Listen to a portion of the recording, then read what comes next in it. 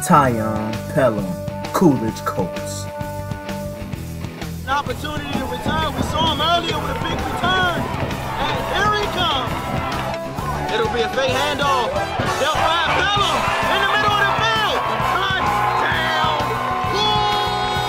Coolidge. Here's the snap.